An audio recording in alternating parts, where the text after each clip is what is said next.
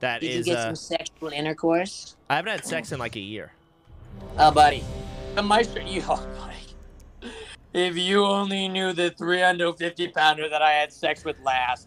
I was laying on top of her and I couldn't feel my own body. What the fuck? man? I told her to get the fuck off my property.